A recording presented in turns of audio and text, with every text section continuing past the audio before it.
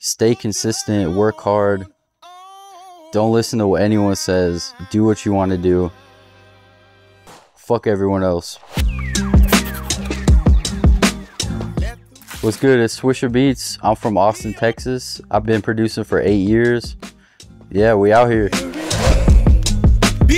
It's crazy because I'm used to like working in my crib and like just being working by myself and stuff. It wasn't really a shift. It was like I'm comfortable with my sound. I know I got a good sound.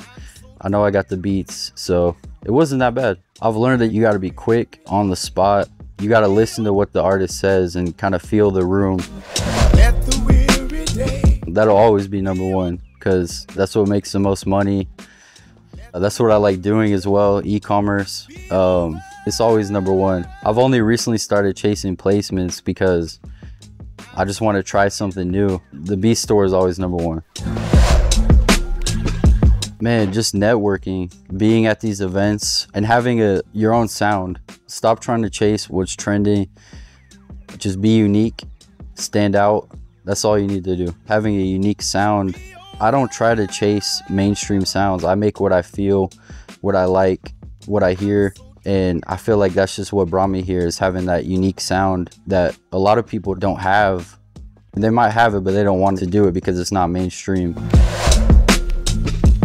Y'all have been extremely important. I probably would have not been able to get any of my publishing without y'all. And your team, your support team is insane.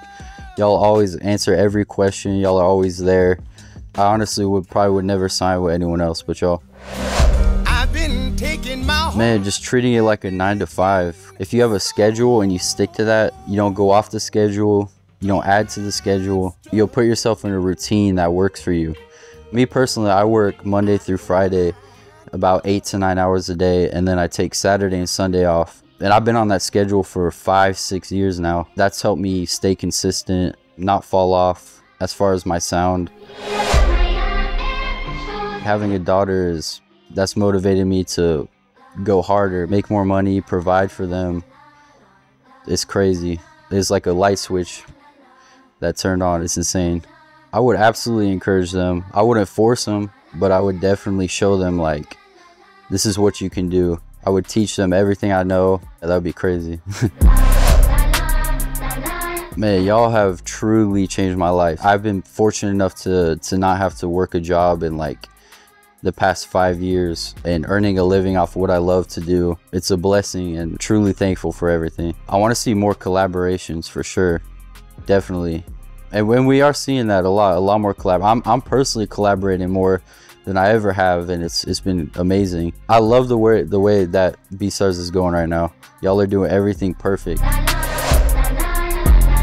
before maybe a year ago, I really only collaborated with a few people, a few different producers. I was really closed minded about that. Um, I always thought I had to make everything myself.